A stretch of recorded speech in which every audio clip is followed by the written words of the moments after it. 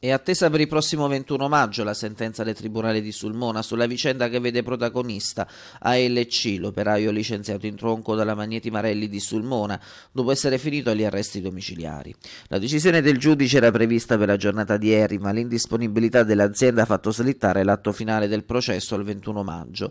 Il quarantenne di Sulmona, difeso dagli avvocati Alessandro Margiotta e Katia Puglielli, si è presentato già due volte davanti al giudice assieme ai rappresentanti della Marelli, ma il tentativo di conciliazione non è andato a buon fine.